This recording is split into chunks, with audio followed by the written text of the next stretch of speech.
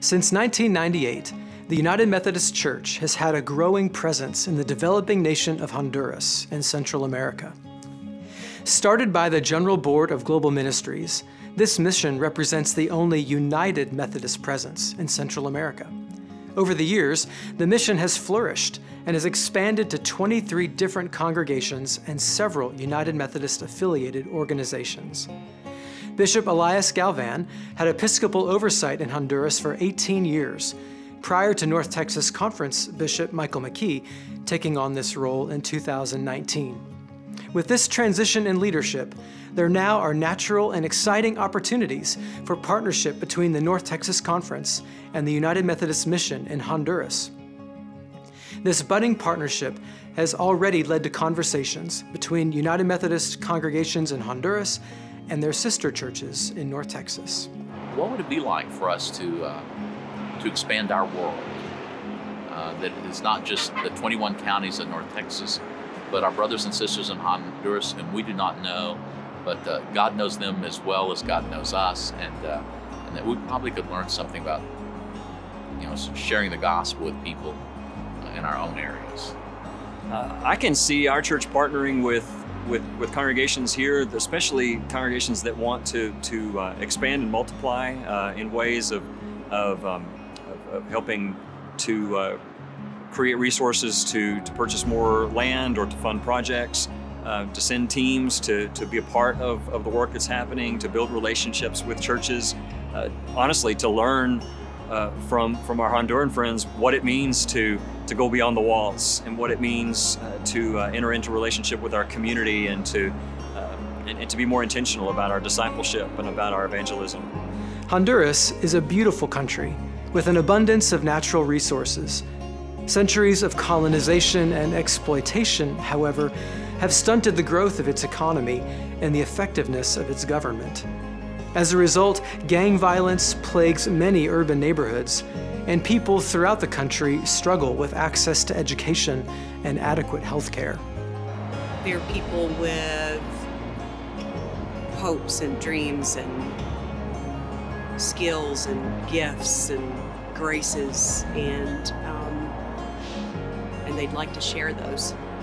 I think sometimes we, I have gotten such a negative picture of what the country is like that being here has really given me hope for what God is doing and can do in Honduras. And so um, it's inspiring to see how much they do, uh, that they don't wait for the perfect situation, the perfect circumstances, all of the resources to follow God's call. What does being in ministry with a neighbor more than 2,000 miles away look like? It's not just about writing a check or deploying a short term mission team. It's about establishing relationships between North Texas and Honduran congregations, relationships based on values of mutuality and empowerment.